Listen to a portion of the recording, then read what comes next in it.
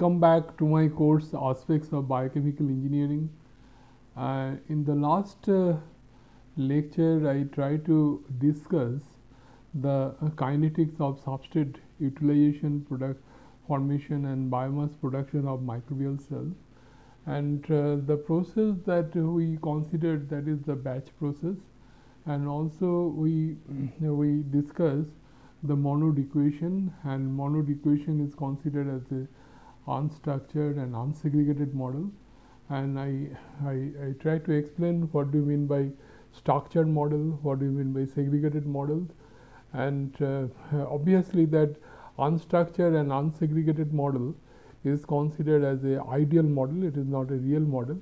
Real model will be structured and segregated model. And uh, then we discuss uh, about that how you monitor the uh, concentration of the cells and I told you two type of cells we have one is called unicellular cell another is uh, what we call filamentous cells or multicellular cells. In case of unicellular cell number is proportional to mass.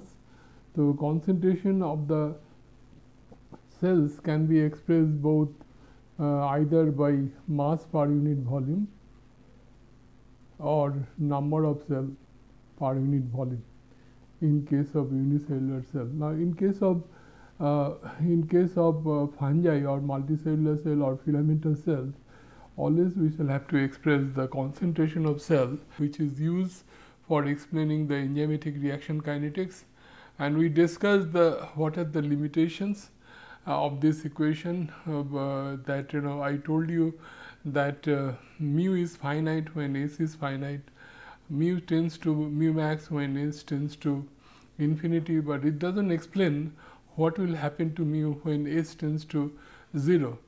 And uh, in addition to that, there are two other limitations of this Michaelis-Menten equation that it does not discuss the death of the cells, because we know any kind of living population always there will be growing of the cells and death of the cells. So, death of the cells is not uh, considered in case of Monod equation and in addition to that there is substrate inhibition and product inhibition as per microbial system is concerned that also uh, we do not consider.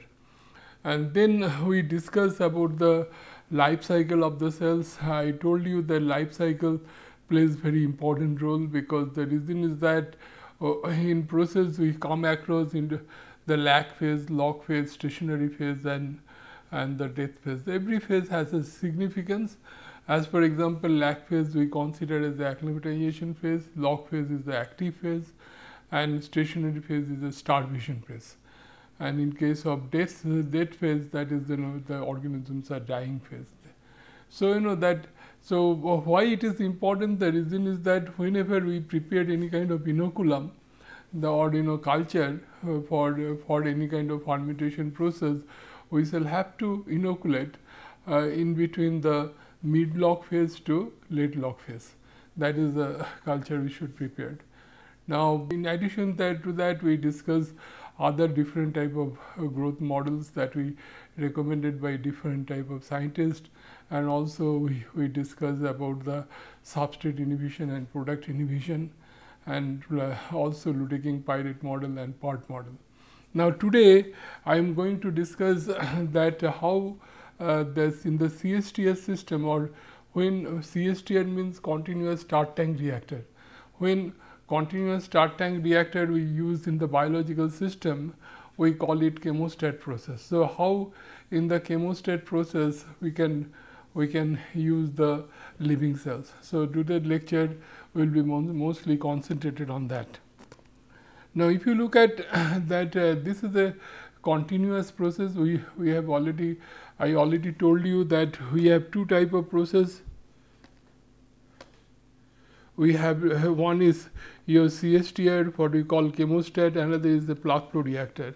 Now, chemostat basically this is simple a reactor. This is like this. And uh, so there is a continuous inflow and outflow. And plug flow reactor is like this that you know there is a tube tubular reactor and liquid coming one in and product is going out. Both are continuous reactor. Now, here we have we have uniformity in the reaction mixture that by using the mechanical starter here there is no starter. Not only that during the movement there should not be any axial mixing. Radial mixing is permissible not axial mixing.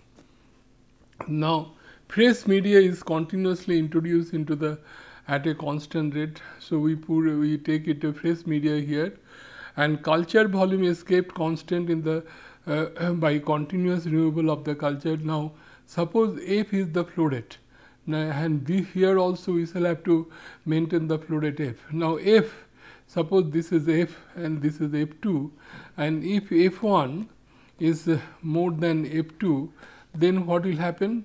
That uh, your volume of the reactor that keep on increasing that is undesirable and if uh, if uh, f 1 is less than f 2 then volume of the liquid that will keep on decreasing with respect to time. So, this is the problem.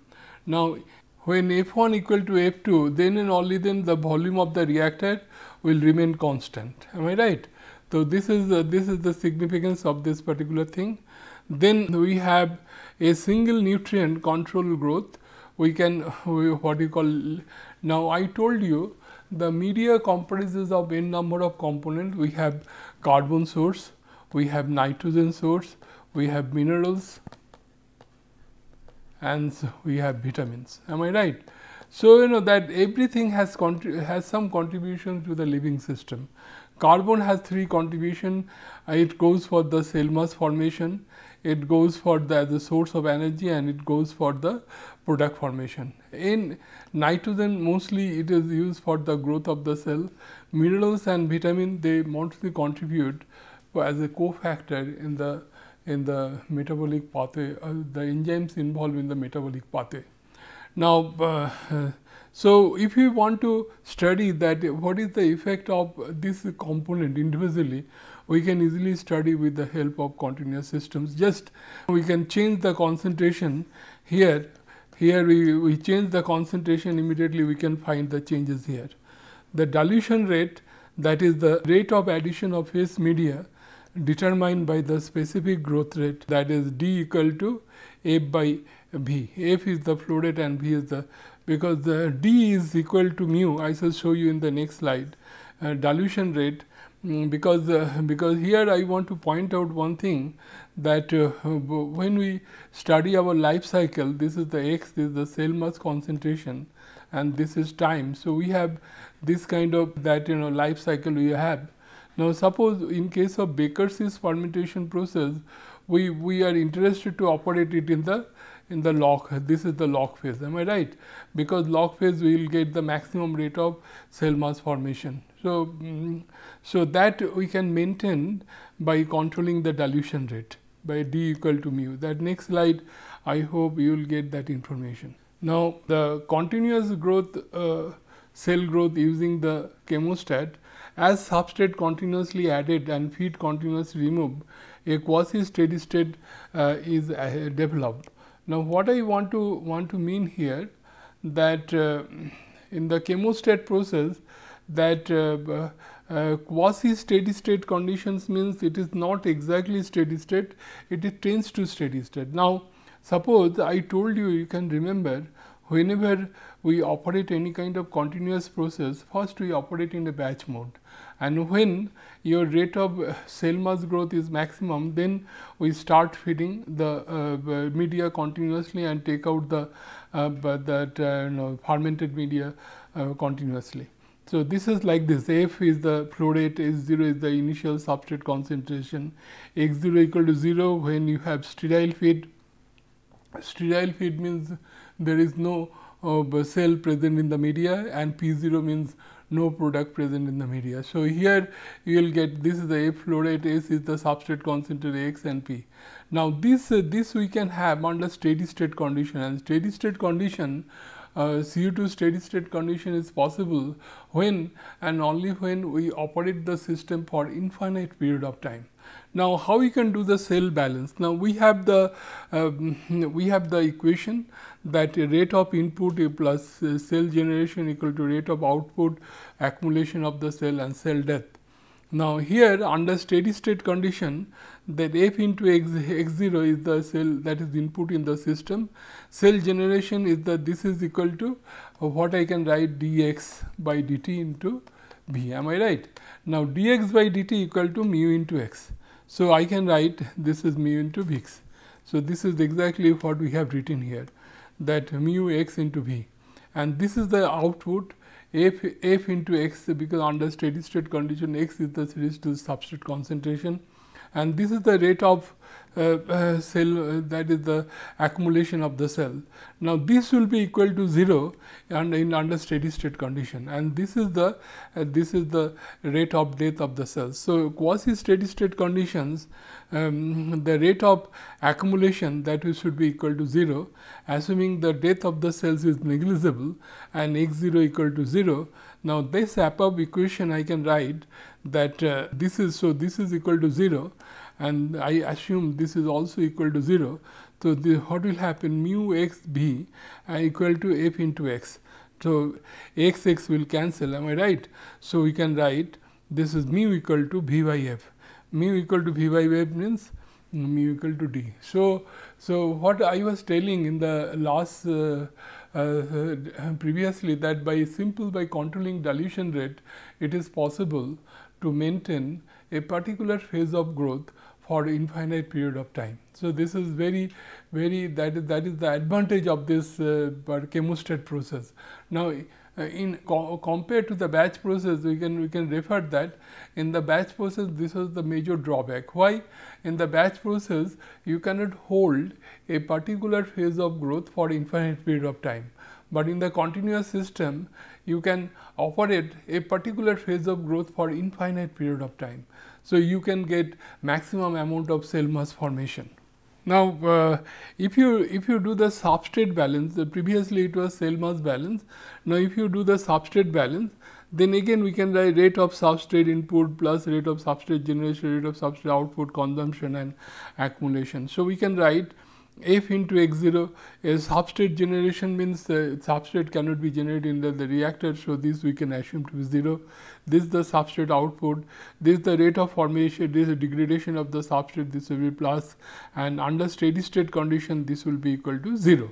So, we can write f into S 0 into f S S equal to V into d s. Now, ds ds by dt what we can write d s by dt we can write ds by dx into this is equal to dx by dt. Am I right? We can write like this. Now, dx by ds we can write this is 1 by x by s into dx by dt. This is this is what what is written here.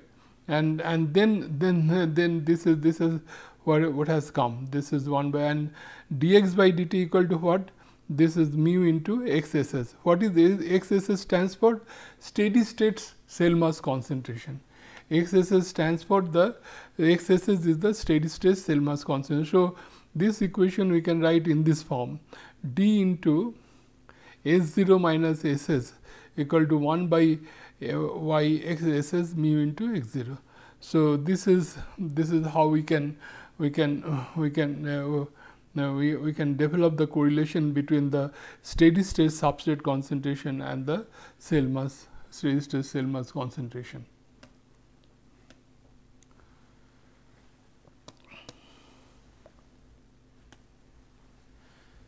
Now, next is a very important thing is that how this dilution rate affects the steady state condition. So, this uh, let me explain that. Now, let us assume this is uh, this is we have this is the stirred tank reactor am I right this is the this is the stirred tank reactor and, and, and so substrate is coming this way and product is going this way.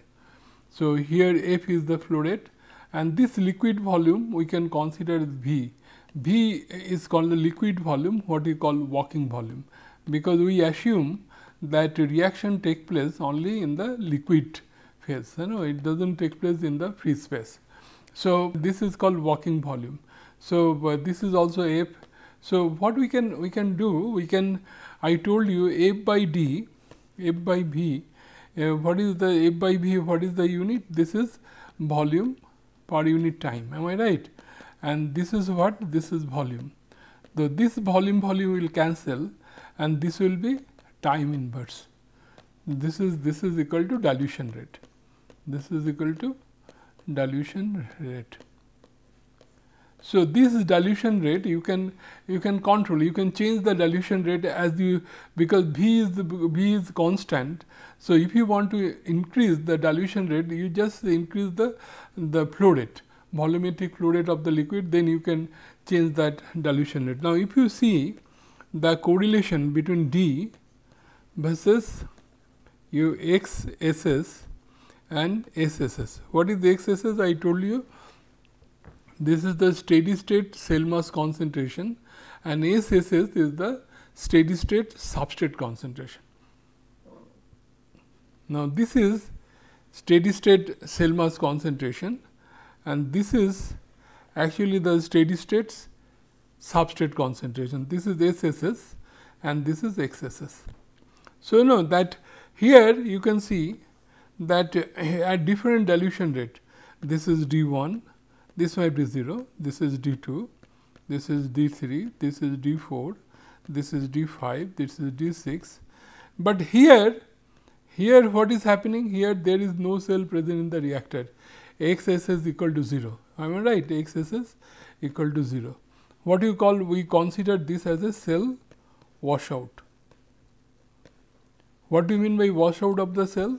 Because there is no cell present in the reactor, because the, your, your total reactor is free from the cells. Now, if there is no cell present in the reactor, we, what will happen? The S 0 that S 0 here and here also will be S 0, because no cell no reaction take place. So, this is exactly this point will be S 0.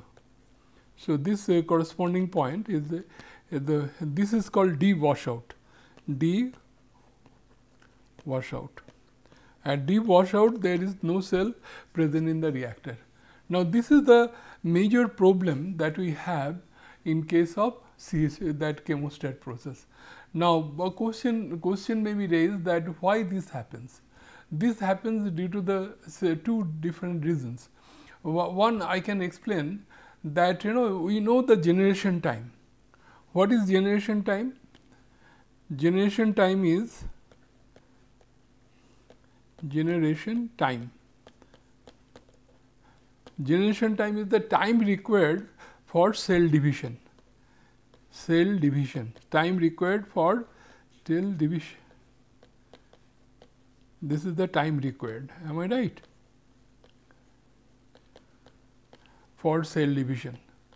So, you know the Suppose you are passing the cell in the what is 1 by d? 1 by d is called HRT. What is HRT? HRT is called hydraulic retention time.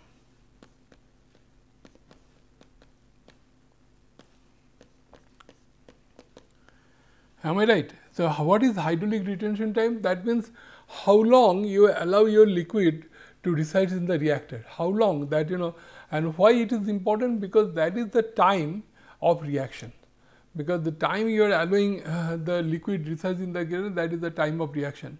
Now, if your generation time and uh, hydraulic retention time is uh, less than that the generation time what will happen before cell multiplies you are taking out the cell from the reactor. So, there is no cell present in the reactor. Another way it can be explained that suppose this is a continuous reactor and you are passing one end like this. So, if suppose that here rate of growth of the cell dx by dt and rate of cell mass that is going out from this system that is uh, that uh, if if rate of cell that is going out the system is more than rate of growth of the cell then what will happen the cell mass concentration in the reactor keep on decreasing and a time will come when there is no cell present in the reactor. Am I right? So, let us see that here what we have written this is uh, that we have already seen this is mu equal to d when uh, when mu equal to d under steady state conditions and the sterile feed. What is sterile feed? Sterile feed means here x 0 equal to 0. The input there should not be any cell present in the in the feed. That is why we call it sterile feed. Then then and only then equal to d. This is equal to this is Monod equation we know mu mu max s case. Now previously we have done this uh, that uh, the substrate balance and in the substrate balance we have this equation. In this equation if we if we put the value of mu this is mu max s k s plus s then we consider this as a chemostat model. This considered as a this is called Monod chemostat model.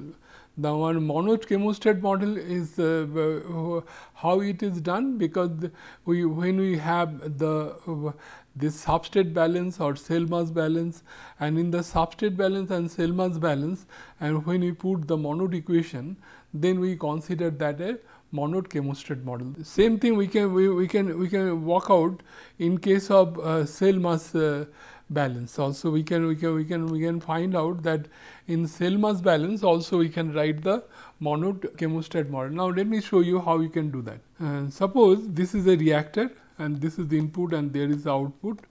Now we have this reactor. This is F, this is x 0, this is F into x s s and this is uh, this is also x s s and this is s s s am I right? This is V so, if you write the cell mass balance under steady state condition, under steady state condition what will happen? That rate of accumulation equal to 0, rate of input is f into x 0, am I right? What is the rate of generation of the cells? That will be dx by dt into v and what is the rate of output f into x 0 x not x 0 f into x. This is the rate of that uh, and then then we can write this is uh, uh and rate of accumulation obviously that will be equal to 0. Now, if you divide this uh, both the side by v this is v is there we can divide by v then what will have, have, this be the f by v equal to d d into x 0 plus what is this mu into x S S. What is this? B B will cancel and this is will be d into x. Am I right? Now, this is equal to x into x 0 plus mu equal to mu max S S k s plus S S S into x S S. Am I right? Equal to this is S S x S S. This is equal to d into x S S. Now, this equation also we call it Monod chemostat model. Monod chemostat model. So, we have we have two Monod chemostat model. One is with respect to with with respect to uh, with respect to uh, substrate balance, another is with respect to cell mass balance. Now, here the interesting thing is that that uh, the steady state substrate concentration and steady state cell mass concentration we can easily find out. Now, we have this equation am I right now, if you look at this equation that is mu equal to d equal to mu max S S S K S plus S S S am I right. So, this is equal to I can write d K S plus d S S S equal to mu max into S S S. So, I can so what I can write S S S equal to d K S equal to mu max minus d. So, we can easily find out the steady state substrate concentration. The once we find out steady state substrate concentration, we can find out x value. How we can find out x value? Why we know y x by s equal to x s s minus x 0. This is equal to divided by s by s s s s. Am I right? So, so what we can write? This is x s s is equal to x 0 plus y x by s into s 0 minus s s s. So, if we put the value of s s s here what we have done here we can find out x s s value. This we can easily do that. So, this is exactly what we have done here. you see that you know this is x equal to x equal to this. So, we can easily find out then if we multiply it by a d there is dilution rate then what is d into x?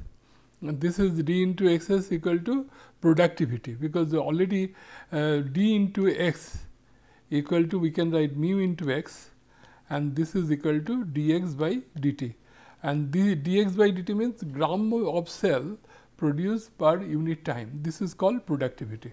So, so the, this we can write in this form. Now, when you when you, there is a very interesting thing when you plot that uh, d versus d versus d into x, d into x means dx by dt. Am I right?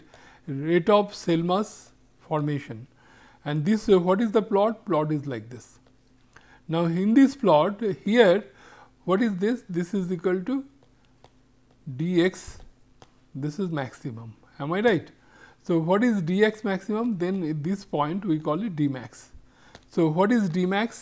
dmax means when the dilution rate at which the rate of rate of cell mass growth, cell mass formation is maximum.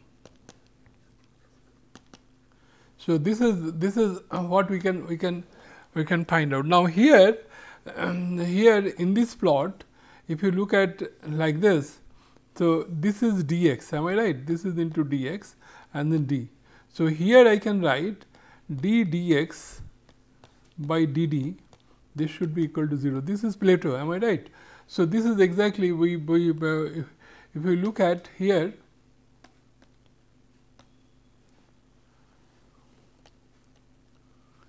Here we have we have this dx equal to y x by s d s 0 this.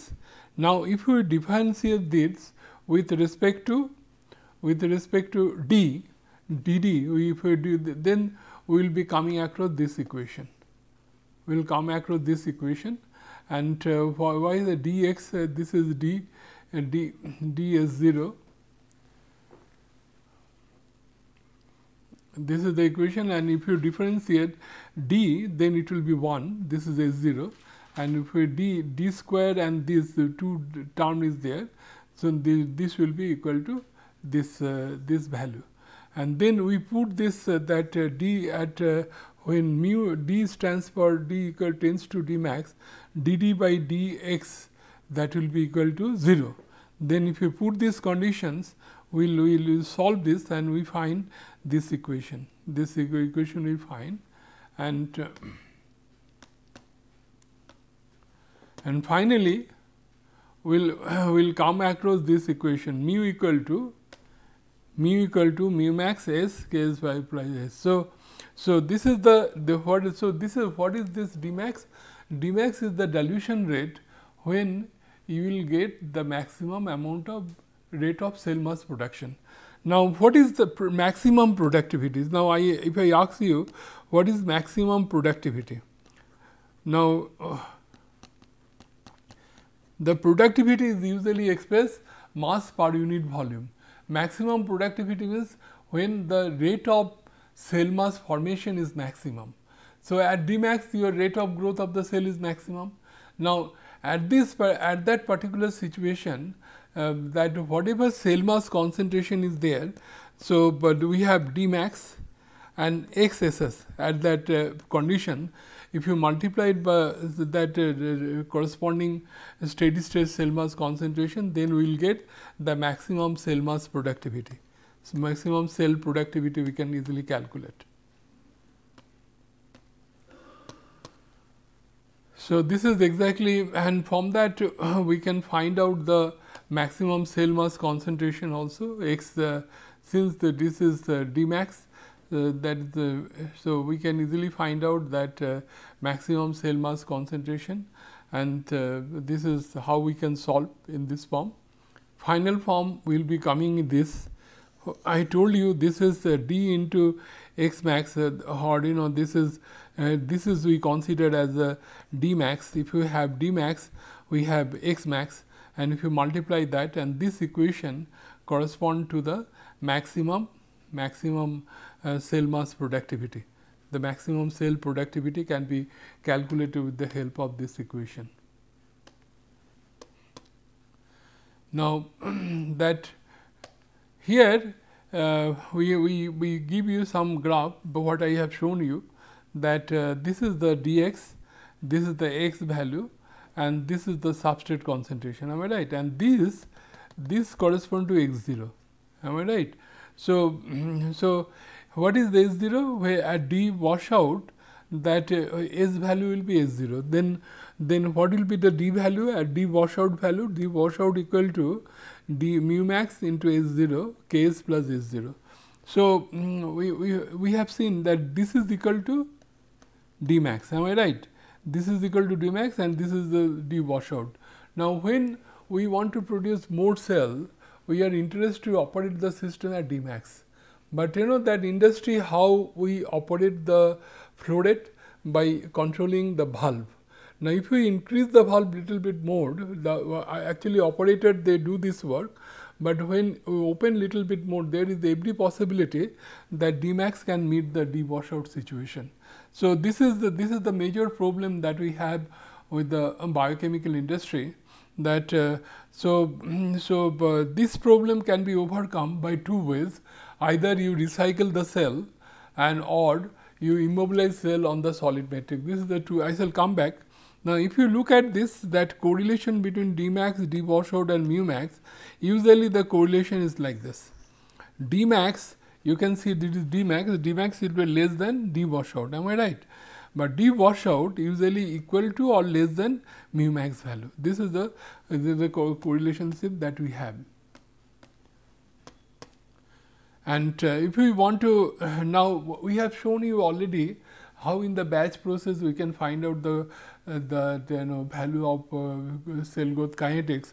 Now, in case of uh, chemostat also it is possible to find out the cell growth kinetics if you write this equation in the form of Lineweaver-Burk plot. Then what we have to have do? We have to plot 1 by d versus 1 by d because all everything is constant. What is this? This equal to y equal to c plus mx. Am I right? So, if you plot one, one is here, one with the, you will be having straight line, the intercept will give you the value 1 by mu max and the slope will give you the ks by mu max. So, whatever mu max value you have, you put it here, so we will get, get the value of ks. So, it is in the, so in the chemostat process also it is possible to find out the kinetic constant. Now, what are the advantages we have with the chemostat process? That log phase can be operated for infinite period of time. The effect of growth limiting substrate on the cell growth and morphology of the cell can be easily monitored because I told you that cell comprises comprises a number of components. Suppose we want to find out the effect of individual component on the on the particular process that easily we can find it out. Several plant metabolites is usually produced during the transition of phases which can be operate easily operated in the chemostat. Simple by controlling dilution rate, we can have 2 and 4 that movement of the phases. So, we can have more metabolite formation and results obtained are reliable and reproducible. Major disadvantage of the chemostat is the cell washout problem and growth over the long period uh, can cause mutation and contamination. This is the major problem of this process.